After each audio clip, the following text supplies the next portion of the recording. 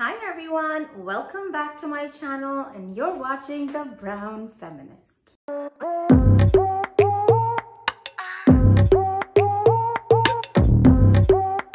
So today I'm going to be answering an important question that many of you have been asking me in the comment section. And that is, how can you build a career in Canada in clinical research if you are a foreign worker? Which means that you don't live in Canada right now, you're not a permanent resident or citizen of Canada, and maybe you're not physically in Canada either, and you just really love Canada as a country and you think it's great and you want to build a home here. And the way that you want to do that is through a career in clinical research.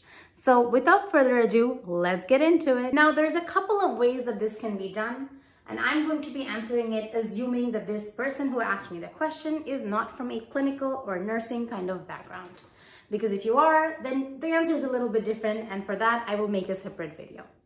So let's assume that this individual has a bachelor's of science or a master's of science, and wherever they are, they've been practicing as a clinical research associate or coordinator, and they really want to understand the job market in Canada and move here eventually and get work here. So there's a couple of different challenges here that you can overcome. So the first thing is that Canada does not very readily hire foreign workers unless there is an acute shortage at home. So for example, if you had been a nurse, I would have told you that come here first as a nurse, practice for a few years in nursing um, because there is a huge shortage in that industry and they would very easily and much more readily hire foreign temporary nursing workers and that can be a pathway to becoming a permanent resident after which you can always change your field in the long run. Now, if you're not from a clinical background, then it is a lot more challenging. And the reason is that not every Canadian company that does clinical trials has the legal right to hire foreign workers.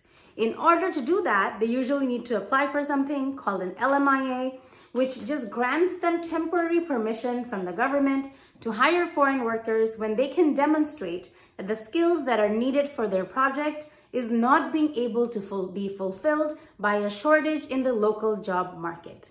So if they post the job, they don't get the resumes, they don't get the skills they want or they need, and that happens a couple of times and it's been demonstrated very clearly, very evidently, then they can get that temporary permission. And very few industries can do that year after year after year unless there is like a huge national shortage, right? They would have to show that they've tried the normal avenues of advertising and getting recruiters and this and that, and they were still not able to fulfill or meet the demand. So that is why if you are trying to apply for a clinical research position from a different country in Canada, assuming it's not the US, which is a little bit different for NAFTA, um, but assuming you're somewhere outside of North America and you're applying to jobs in Canada, a majority of the organizations unfortunately don't have the legal right to directly hire foreign workers. Unless, like I said, a few of them go ahead and get this special permission. And when they do, you might see something like this that I'm showing on the screen um, appear on a lot of these jobs, which is this person has this permission. And even if you are a temporary foreign worker, you can apply to this job if you fulfill like the skill needs. But if this is not written explicitly there, I would just go ahead and assume that they're not open to non-Canadians. And that's why a lot of the job application processes would clearly question you repeatedly, are you legally authorized to work in Canada? And the answer would be no unless you have a work permit, you are a permanent resident, you're an international student working here, or you are a Canadian citizen. So when you are applying to clinical research roles, step one would be to do the research and find out exactly which organizations in Canada that hire for clinical research roles are even legally able to look at your application and to give you a fair shot. So that really will bring down the number of organizations you can apply to very significantly. Then looking at these small number of organizations, you have to understand that you will still continuously be competing with people from across the globe who might be applying for those positions and as well as local candidates who might just keep showing up. Maybe somebody's left a job somewhere and they've applied. And if a company can get away with hiring someone more local, they might do that, but still do go ahead and apply because a lot of the times they might be able to negotiate a better salary or, you know, look at the specific skills that you have, the language skills, the life experiences, the work experiences, and still choose you. So even though the opportunities will be limited to these few organizations, and usually they wouldn't be the typical academic organizations, you might be looking more at large pharmaceutical companies, like running large scale clinical trials and such, bigger companies who have the financial capacity and who have great need that is just not being met. So those are the places that you need to start your online research with, narrow down a list of companies who are able to sponsor foreign temporary workers, and that can be your in.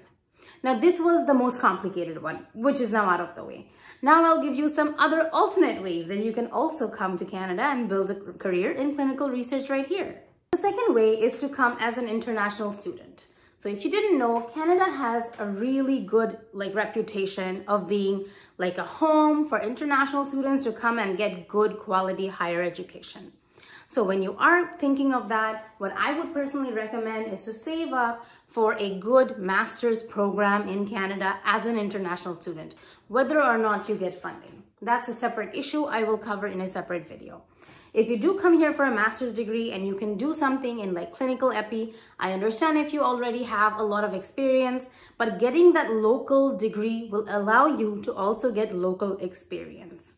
While clinical research fundamentals might be the same across the world, the actual hands-on experience, the actual ethical standards to meet, the actual provincial and federal guidelines to meet might be drastically different. So if you're looking for a program, look for a one-year or two-year program, for example, a master's in clinical epi, master's in health sciences, which will allow you to do co-op opportunities. Now, unlike many other countries, Canada does allow its international students to work quite a few hours. So even when you're doing a full course load, you can still work up to 20 hours a week. And even if it is the summer months, like for example, you don't have school, you don't have your uh, full course load for one semester, maybe after every two or three semesters, you have one semester gap. For example, in the summer, that time you can actually do a full-time paid internship or a full-time paid co-op position. And that can be in your fields of work in clinical research. So that can be an excellent way to generate some extra money from that job and get local Canadian experience. Once you are done with your degree, there are lots of opportunities in Canada to actually apply for a work permit and find work in your field. If all goes well, there's also a pathway to turn that time and experience into a permanent residency. So I don't want to advise too much on immigration. You can look that up on the Government of Canada website about how as an international student who has completed their degree in good standing and they've been good citizens during that time, you can actually get a work permit, following which you can actually get a permanent residency. And once you're a permanent resident, the opportunities in Canada are endless. Worst case scenario, even if you don't end up getting your work permit here or your permanent residency here, you would still be leaving with a world-class degree, which can help you get a job in many other parts of the world and make you a far more competitive candidate because of the degree you got here, as well as the work experience you got through that degree, through the co-op placements and internships and part-time assistantships that you get to do. Final way that I want to say is if you do have a clinical background, then try to use that to build a life in Canada first. Try to dedicate, for example, if you are a nurse, if you are a doctor, if you are in one of those other kind of niche fields that Canada is always looking for, you can always come and give a, a, few years of your life in actually fulfilling that duty, fulfilling that demand in the Canadian marketplace, for example, in nursing, where there is a huge shortage. And then later on, three years later, five years later, if you want to transition away from the bedside into clinical research, it will be a lot easier as a local. So for internationally trained people who are in like pharmacology or clinical research and all of these other fields, this would be my general and genuine advice. It's not pretty, but it's very realistic. And I wanted to lay out all the actual challenges to you right then and there. There's lots of reasons that you should rethink this, you should strategize this, you should understand exactly what is wrong where. Having said that, I don't want to hold anyone back from actually applying for these jobs in companies which do hire international foreign workers time to time. Keep your eyes open, keep searching the job boards, keep looking at websites like um, Government of Canada Jobs and Indeed and uh, LinkedIn and all of these and keep looking out for companies where you know that sometimes now and then they might hire foreign workers, keep applying, keep updating your resume. I will be doing another video on how you can actually polish your resume for the Canadian marketplace, especially in the field of clinical research, and that should help you a lot to get the job. Now, once you do get the job and once you are considered a local, life will become a lot easier. There are lots of opportunities in Canada in clinical trial and even non-trial based clinical research.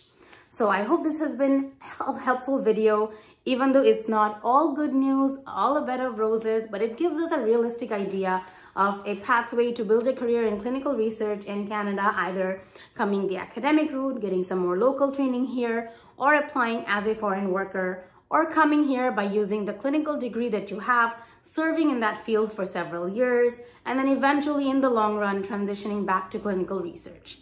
So I hope this video has been helpful. If you want to know more, please do ask me your questions in the comment section below. And until next time, this is the Brown Feminist. Bye.